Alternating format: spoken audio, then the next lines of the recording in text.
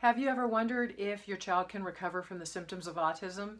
And if they did recover, what they might be like without all of those symptoms of the behavioral disorders, the tantrums, the inability to think in a classroom, the inability to sleep at night, all of those things. If you've ever wondered about this, then please uh, join me tomorrow for my live weekly radio show at 12 p.m. Eastern. The link is below this video, and if you happen to miss it, miss it in uh, miss it live, then please join me for the archive of it, the replay. And I've created a page for that on my website so that you can listen to the interview and some links to Brian's current websites where he supports children, especially teens with autism.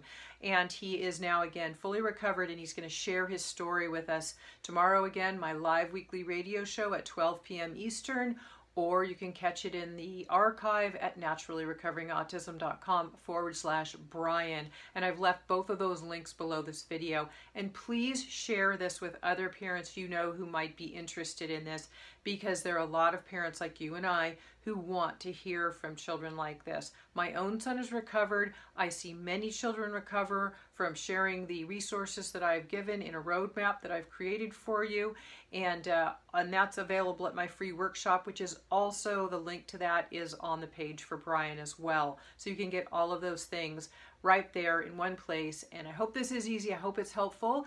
And I look forward to seeing you soon.